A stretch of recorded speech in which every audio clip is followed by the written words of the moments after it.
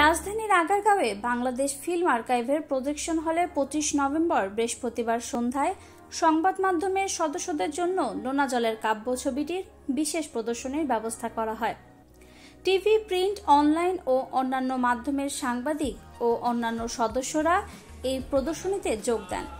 ছবির পরিচালক রেজওয়ান শাহরিয়ার সুমিত, অভিনেতা তাসনোবা তামান্না ও অন্যান্য কলাকুশলীরা প্রদর্শনীর শেষে সাংবাদিকদের প্রশ্নোত্তর পর্বে অংশগ্রহণ করেন। এবং এই ছবিতে একটি ভালো গল্প আছে।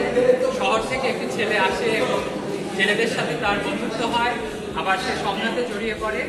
তো এই গল্পের তাগিদে আপনাদের আমার মতে আপনারা হলে এসে দেখলে এটা একটা দেশের সমুদ্র উপকূলবর্তী প্রান্তিক জেলেদের দৈনন্দিন জীবনযাপন, আবহাওয়ার প্রতিকূলতার মুখে টিকে থাকার লড়াই এবং তাদের সামাজিক রীতিনীতি ও সংস্কার এই চলচ্চিত্রের মূল বিষয়।